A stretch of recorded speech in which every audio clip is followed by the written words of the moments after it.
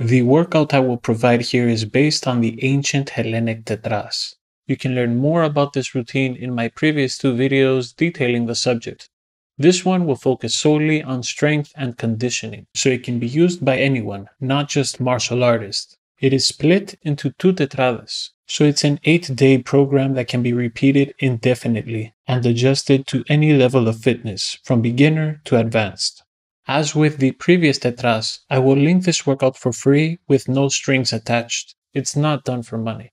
The channel in its entirety is a passion project. I mean, the total income it's provided isn't even a third of the expenses of just the content creation software I use to make the videos. But I believe these tetrades can really help people, especially those struggling to maintain a workout schedule, so I won't put it behind a paywall. That being said, it would be nice to have the freedom to focus on making similar content, which is why I ask those who have the means to sub to my Patreon, and those that do not to share the video with anyone they believe might be interested. Now, what does this workout entail? As mentioned, it is split into two tetrades, and each tetras works different muscle groups and strength and conditioning attributes. But before I go into the specifics of the main workout section, I'll recap the basics of the tetras routine and in doing so, answer some of the most common questions I've received. The ancient Hellenic tetras breaks down a workout schedule into four day intervals. Each day within this interval has different energy and effort level requirements if we were to make a percentage scale where 0% is no effort and 100% is the exertion required to get you tired but not exhausted, then day 1 requires 75% exertion, day 2 requires 100%, day 3 requires 25%, and day 4 requires 50%. Day 1 is a warm up for day 2, day 2 is the primary muscle building day, day 3 is the recovery day, day 4 is reserved for focusing on technique be it of the exercises or of one's sport or martial art. An easy way to remember the rest is to consider that the Tetras has three quadrants. The first is the four day schedule that was mentioned. The second is the daily quadrant, which consists of the pre warm up, the warm up, the main workout, and the cool down. A microcosm of the full Tetras. Many have asked, since this workout routine is already written out, what is the purpose of Pro Paraskevi? This section lets you plan the day's workout in accordance with your schedule, taking into account factors like the personal activities you have planned for the day, the weather, your location, and so forth.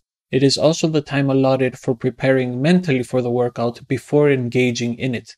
I've also received a lot of questions about breathing exercises during the cooldown period. For this, I must ask for your patience, as I have a video that I'm working on detailing the subject. Until I am able to complete this video, and one that I have planned for the Paraskevi, I will leave these sections to your discretion. Do your preferred warm-up and cool-down routines for each of the 8 days. Finally, the third quadrant belongs to the main workout. At the beginning of the video, I mentioned that each tetras is set to train different strength and conditioning attributes. What did I mean by this? The Kyrios Gymnasi is separated into four parts, a microcosm of the daily tetras. 1. Merismos, sectioning the main workout as necessary. I usually like doing the exercises in circuits, but you can carry them out in sets, high intensity intervals, or however you see fit. 2 Υγιεινός τρόπος προπόνησης. I'll call it HTP for short. The so-called health-oriented workout phase. This is where you do compound exercises that promote overall wellness. This section is also used to strengthen any muscle groups that are weak or prone to injury. For the tetrades I will provide, one tetras will focus on abs and mobility, while the other will train hips and cardio. 3. Kataskevi. Kataskevi is the section that requires the most effort in the day's workout. It is the core of the routine, meant to help us accomplish the fitness objectives we have set for the tetras. In this case, strength and conditioning. Here, one tetras will focus on pull related exercises, biceps back, and the other tetras will focus on push related exercises, triceps chest. 4. Kata άλλων την This basically means in any other way, Therefore, this section is reserved for training that is necessary but outside of the scope of the kataskevi. Here we will train the legs. One tetras will focus on resistance training, the other on plyometrics. So as you can see, the theme of the first tetras is control, being able to complete a full range of motion slowly and with calm, while the second tetras will focus on explosiveness, being able to exert the necessary amount of strength to complete a maneuver during as short a time period as possible. The training attributes from one tetras complement those of the other. Without further ado, here are the two tetrades. There are four workouts that I've separated into two sections, namely push, pull, legs, and plyometrics. I've made it so that none of these workouts are done with resistance on two consecutive days. It also allows for the variance in effort levels, which is necessary for the recovery period.